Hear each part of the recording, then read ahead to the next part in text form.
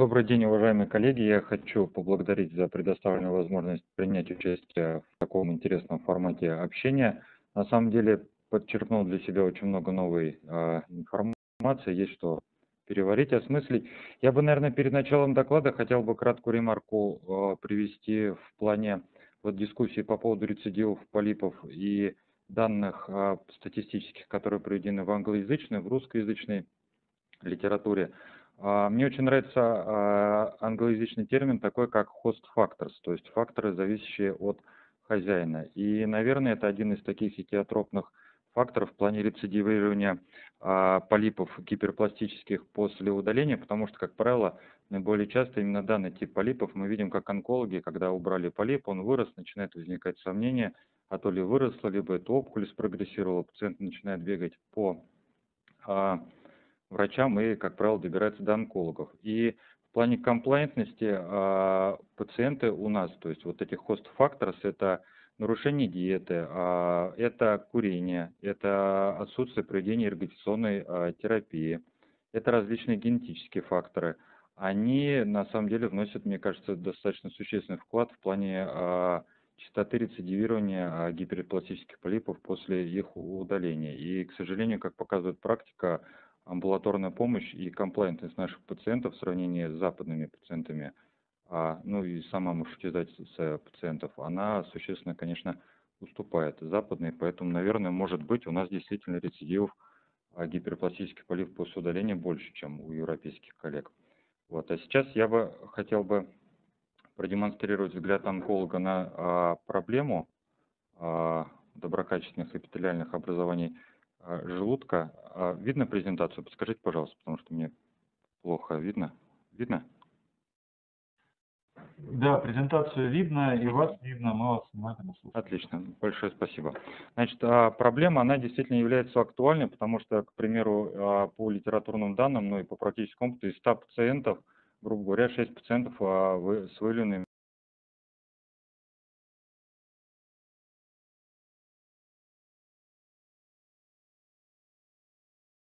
полиповидными образованиями пациентов, они имеют бессимптомное а, течение. И, как правило, эти пациенты, они попадают а, гастроэнтерологам, а, либо лечатся на местах и редко попадают к онкологам. 10% пациентов имеют а, клиническую манифестацию полиповидных образований в виде развития кровотечения, а, перекрута, если полип на ножке с выраженным болевым синдромом, либо же явлением непроходимости. Но данные пациенты в большом своем количестве попадают в экстренные хирургические стационары, где они либо подвергаются лечению, либо в последующем добираются до онкологов.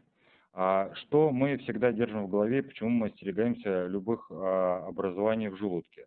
Мы, безусловно, ожидаем проблему, а, что это образование может оказаться недоброкачественным, оно может явиться непосредственно раком желудка, либо предраком, либо малигнизированным уже процессом.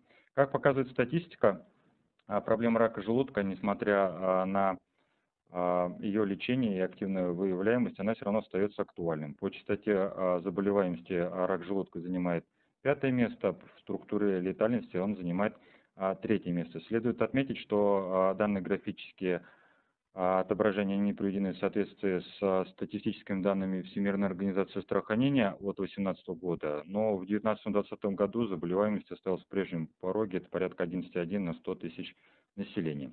Если мы а, зададимся целью посмотреть а, тренды а, по заболеваемости раком желудка, допустим, за 40-летний период, то мы увидим устойчивый, уверенный тренд к тому, что заболеваемость раком желудка, она снижается. Причем, что интересно, это как и для западной популяции, как и для азиатской, потому что мы на данный момент принципиально понимаем, что для разных генотипов, фенотипов раки желудка, они тоже разные. И то, что у а, мы наблюдаем в азиатских странах у азиатских коллег а рак. Это преимущественно дистальная локализация, немного другой генотип и биологии самой опухоли. Но общая а, тенденция по всему миру – это к снижению заболеваемости раком желудка.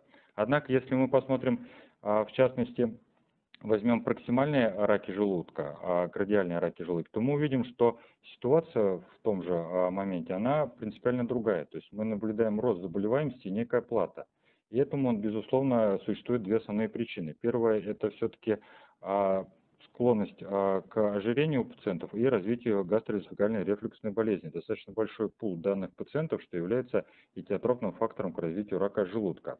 Общий же тренд снижения, он, безусловно, обусловлен интеграцией радикационной терапии хеликобактер пилорной инфекции. Это кардинальные изменения а, культуры питания, даже сколько изменений технологий консервации продуктов и снижения потребления консервированных продуктов а, в общей популяции. Ну и, безусловно, это достижение здравоохранения, это ранняя выявляемость заболеваний, улучшение методов диагностики, достижение в хирургическом лечении и в лекарственном лечении заболеваний.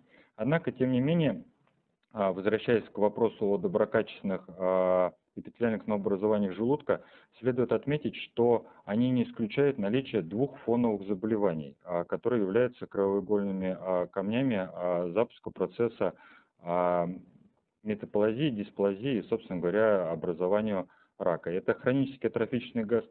хронический атрофический гастрит, ассоциированный с кишечной метаплазией, и все-таки хеликобактерная инфекция. Открытый а, микроб, он отнесен а, к первой группе а, канцерогенов, согласно с классификацией Всемирной организации здравоохранения. Патогенез его достаточно хорошо изучен. Безусловно, все начинается с интеграции и инфицированию слиз желудка. Далее есть, безусловно, хост генетик фактор, а, это полиморфизм а, носителя, потому что не у всех а, хеликобактерно-пилная инфекция приводит к развитию метаплазии, дисплазии, уж тем более рака желудка. Это внешние факторы воздействия, такие как курение, воздействие других канцерогенов, нитритов, нитратов, это регулярный прием алкоголя. И когда все эти факторы совпадают, а, то, безусловно, первоначально возникают воспалительные изменения в стенке желудка, которые хронизируются, далее приводят к метаплазии, дисплазии и развитию рака желудка. А, следует отметить, что а, особо штамм, ассоциированный с развитием аденокарциномы желудка, хеликобактерной инфекции, это КК-штамм, который непосредственно интегрируется в стенку клетки, вызывает нарушение образования РНК, ДНК в клетке, воспалению и, соответственно, существует триггерным фактором для запуска процессов канцерогенеза. Если же мы говорим все-таки а, о именно каких полипах, в предыдущих докладах было очень более чем подробно а, отображено, насколько часто они малигнизируются. Ну, я распределил по степени значимости. Наверное, аденоматозные полипы, они а, не являются предметом дискуссии. Данные полипы они являются по сути истинными неоплазиями и предраковым фоном. А, следует отметить, что при размерах а, более 2 см частота малигнизации достигает 40%, то есть это практически без малого половина пациентов. Зачастую данные полипы также ассоциированы с метахроном и синхронным раком желудка. Поэтому, в принципе, наверное, отношение вот с точки зрения онколога к аденоматозным полипам это однозначно их а, удалять. А железистые же полипы, также известные как полипы Листера, они а, наиболее часто ассоциированы все-таки с длительным приемом ингибиторов протоновой помпы. Это как раз те пациенты, у которых выявили полипы, они лечатся длительно-длительно у гастроэнтерологов, им бесконечно назначают ингибиторы протоновой помпы. Данные полипы, их потенциал к дисплазии, соответственно, к малигнизации, он крайне низок, он менее 1%. Но следует понимать, что при ассоциации а, с различными синдромами, например, с синдромом семейного диффузного полипоза, а, частота дисплазий, дисплазий она достигает уже 54%, однако все-таки сохраняется низкий риск малигнизации. Но, к примеру, при ассоциации железистых полипов с синдромом Линча, по данным корейских коллег, риск малигнизации он в два раза выше в сравнении с группы, с контрольной группы с общей популяцией наблюдения. Хотя стоит отметить, что а, по данным финских коллег, а, там группа наблюдений, безусловно, была меньше, чем у корейских коллег, а наблюдалась одинаковая частота малигнизации. Гомартромные полипы они, безусловно, редкая достаточно патология, редко мы их видим, видим мы их, как правило, а, в рамках проявления различных синдромов. Это ювенильные а, полипы, которые у более часто у детей, у подростков, а, они не склонны к малигнизации, однако если они обусловлены мутациями в ряде генов и клинически манифестируют множественными ювенильными полипами с локализацией в теле, то данный тип полипов, он а, с 50% долей вероятности ассоциирован с малигнизацией. А, И также гематомные полипы в рамках проявления системных синдромов а, аутосомно-доминантных заболеваний генетических. Это синдром Петцера-Егерса, как правило, это классическая а, пациент а, с коричневой ярко бросающейся меланин, а, меланиновой а, окраской пигментации губ, слизистых щек, изменением а, цвета пальцев. И, как правило, у данных пациентов выявляются эти полипы, но следует обратить внимание, что у пациентов а, с как раз синдромом Петцера-Егерса риск внекишечной малигнизации, а именно а, образования онкопатологии молочных желез, поджелудочной железы, эндометрия, легких, 15 раз превышает общую популяцию риск развития. И также зачастую данный тип полипов он ассоциирован с риском развития гастроинтестинальных стромальных опухолей, а также у молодых пациентов в порядке в возрасте 30 лет. Таким образом, мы получаем клинически характерного пациента, которого наблюдает по поводу гомартромных полипов, но выпуская а, его потенциальные риски а именно малигнизации не в желудке, а в некишечной малигнизации.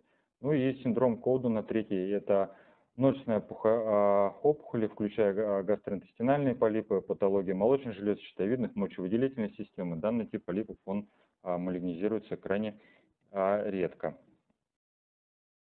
Воспалительные полипы, полипы, также опухоли Ванека, крайне редко малигнизированы, практически никогда не ассоциированы с наличием филипробактерной пилорной инфекции, и мы как онкологи их практически ну, не наблюдаем. И, наверное, наиболее самый дискутабельный, наиболее частая часть типа полипов это гиперпластические, которые а, действительно по данным ряда авторов достигают частоты дисплазии до 20% с частотой малигнизации до 2,1%. Мы преимущественно видим именно а, рецидивы после первичного удаления гиперпластических полипов, как онкологи. И видим метахронный рак, когда а, рядом с гиперпластическим полипом вследствие фонового заболевания, нарушения там, альтерации, пролиферации – развивается вокруг а, ранний рак или уже запущенный а, рак желудка. Следует отметить, что размер а, прямо пропорционален риску малинизации, он возрастает у гиперпластических полипов. И, конечно, вот эти полипы, они, наверное, требуют все-таки более мультидисциплинарного подхода. Благодарю за внимание. Надеюсь, я уложился во временной регламент